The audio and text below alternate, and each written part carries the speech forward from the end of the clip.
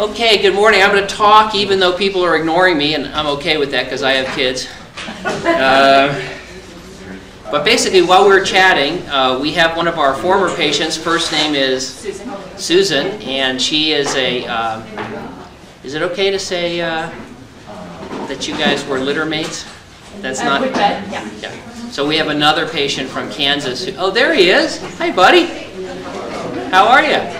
Good, how are you? Good. We're uh, videotaping, so I'll go ahead for a second. Nice to see you.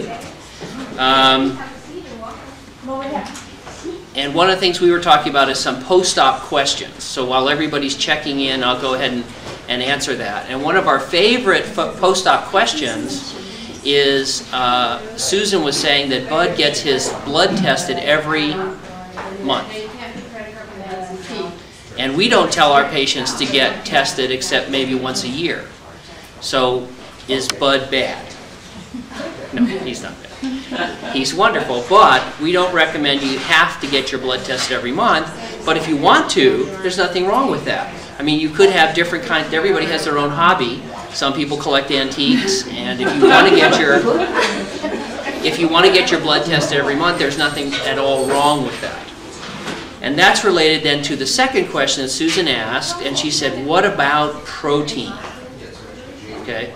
If you listen, even people who haven't had surgery, the United States, people who live in the United States, everybody, as far as I can tell, is wound up tight about protein.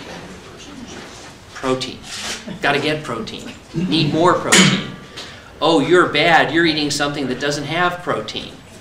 It- we would all do better if we just ate protein. So, you've heard all this stuff? On my web email mailing list, people are constantly giving each other tips. Oh, I found some great protein. I scored some really good protein. I got a protein shooter that has 40 grams of protein in it, man. And so I want to talk about protein for a second. All right, so people are worried about protein, an intense focus of a lot of my patients. And so I want to try and answer that because do you have to worry about low protein? That's kind of the question that we get a lot. And I think, in a way, Susan was asking that because she asked about the whey protein. I think you call it the wheat protein. and the creatine that we recommend. And So we're going to talk a little bit about that this morning, uh, try and answer some questions. Uh, it turns out that you all know the answer to this question already, and I'm going to see if I can kind of pull it out of you a little bit. Each one of you have talked to at least 10 of my former patients, right? And probably more than 10. Okay. Now, so we got all these people here. You've each talked to 10 different patients. I want you to raise your hand if you talked to any one of my patients who had low protein. There's one. You found one? Low iron and low protein after three years. Low iron or low protein? Both. Okay. All right. So we She found. just posted on. Yes, she Tasha, just one who just posted. Okay. So there is one. In fact, there are a handful out of how many have I operated on? 4,000. So low protein, in fact, can happen. It's just really uncommon. So what we generally recommend as far as protein is don't worry about it. We do think you should eat a healthy diet. We do think you should eat a healthy diet. And a little bit of supplemental protein is good.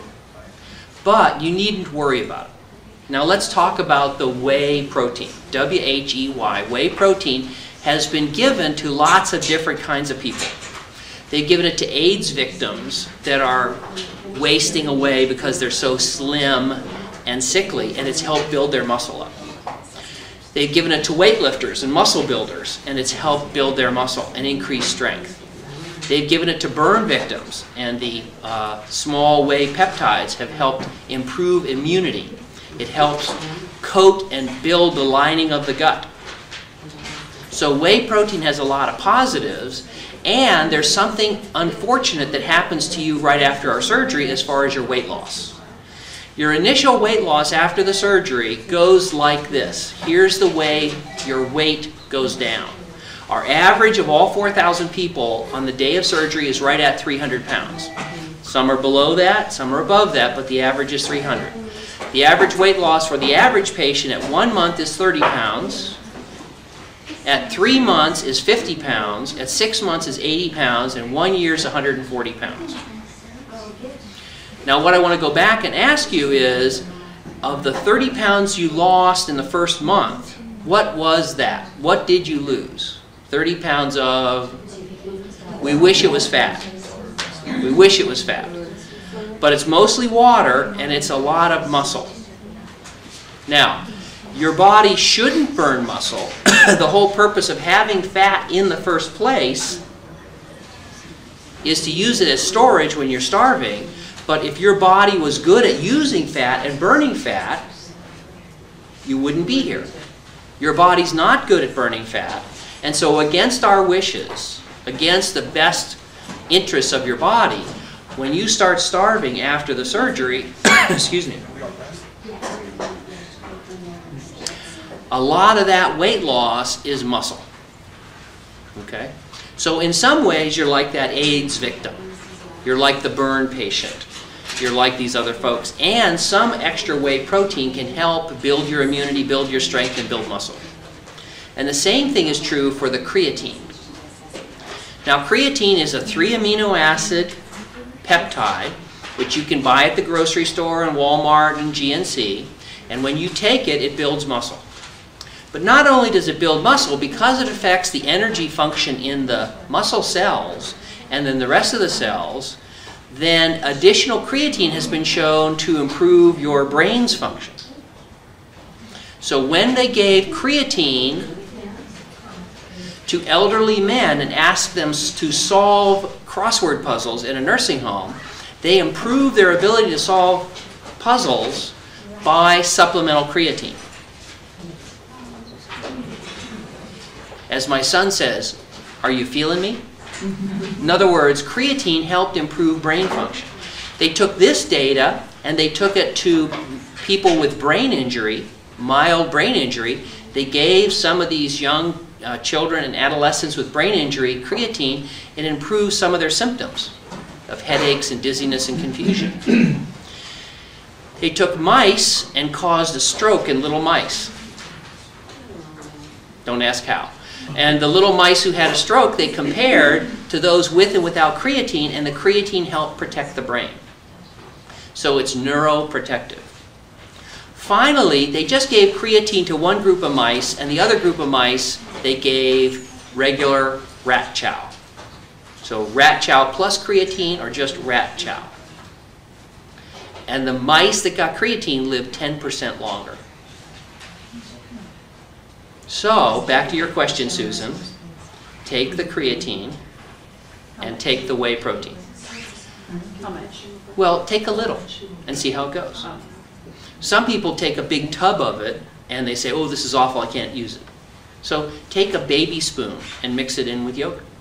Take a baby spoon and mix it in with a little um, uh, smoothie where you use some uh, ice, a little bit of uh, creatine or whey protein, um, a little bit of uh, lactose-free milk,